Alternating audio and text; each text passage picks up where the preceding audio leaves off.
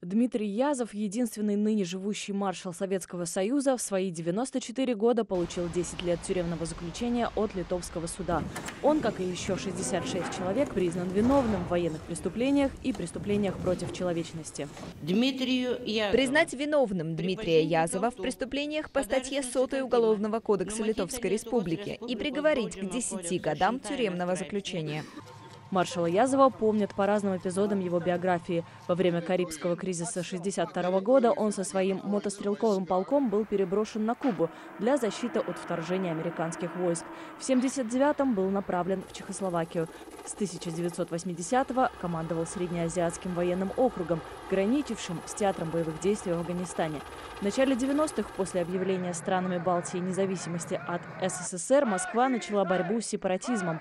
13 января 1991 1991 года был организован военный штурм телецентра в Вильнюсе. В результате столкновения военных со сторонниками независимости под гусеницами танков и от пуль погибли 14 человек. Более 600 пострадали. Робертос, сын погибшего в результате штурма Аполлинароса Йозеса Павелайтиса, присутствовал на заседании суда и приговором доволен, несмотря на то, что не все виновные окажутся в тюрьме.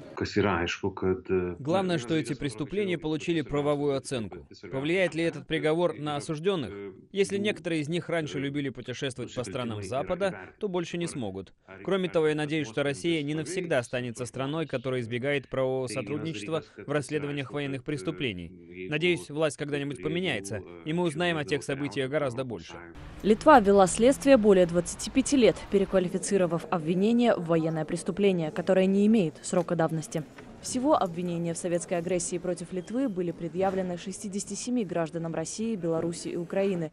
Некоторых из них уже давно нет в живых, иные от следствия скрываются. На скамье подсудимых присутствовали лишь двое обвиняемых. Экс-командир танка, полковник запаса Юрий Мель и бывший советский офицер Геннадий Иванов. Мель приговорен к семи годам тюрьмы, Иванов – к четырем. Оба свою вину не признали. Будет, будете обжаловать? Обязательно. Сколько у вас инстанций? Одна инстанция осталась, только Верховный суд? Еще апелляционная инстанция, и только потом Верховный суд. Еще две инстанции.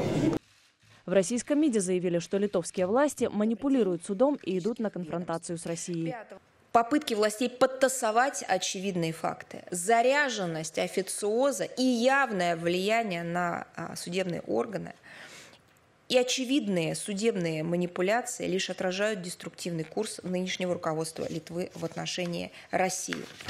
Тогда, 28 лет назад, Вашингтон осудил действия Москвы в Вильнюсе. Дипломат Джон Хербст оценивает суды как отражение трагической истории отношений Литвы с советским государством, начиная оккупации 1939 года и заканчивая кровавым штурмом 1991 года.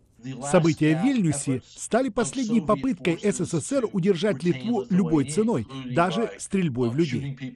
Я рассматриваю этот суд как способ добиться справедливости.